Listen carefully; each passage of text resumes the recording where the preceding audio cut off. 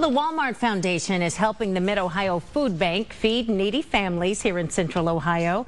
The food bank was awarded a $55,000 grant to support their produce market program, which provides 10,000 pounds of fresh produce and bread to a pre-selected community location.